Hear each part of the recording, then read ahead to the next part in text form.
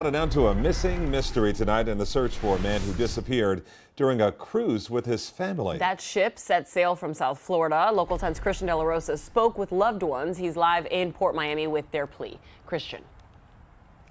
Just so unreal, this story. Based on the information that we have from Carnival Cruise Lines, this man wasn't recorded by surveillance cameras going overboard or exiting the cruise ship.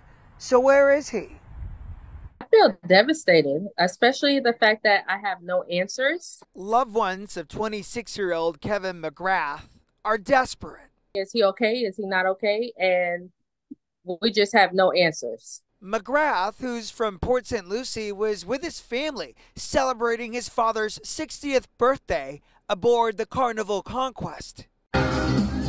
This is he from the back. He was having a good time, an amazing time on the cruise ship. But when time came to disembark Monday, no one could find him.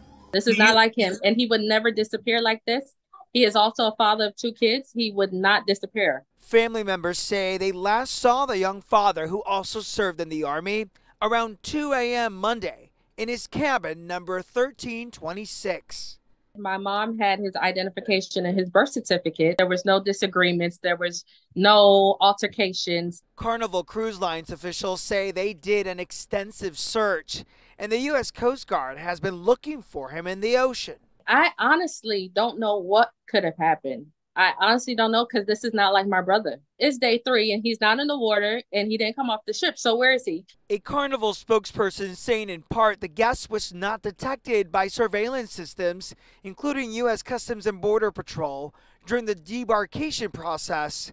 Miami Dade police eventually cleared the ship to sail. The carnival care team is supporting the guest's family. We're all just waiting to get that phone call like, yes, we found him. He's safe. He's okay. The family tells us the information they're getting from Carnival Cruise Lines is that McGrath last used his room key around 3:30 in the morning Monday. That was just hours before he was supposed to meet his family for breakfast and later disembark. You saw his picture. If you've seen him, call police. In Port Miami, I'm Christian De La Rosa, Local 10 News.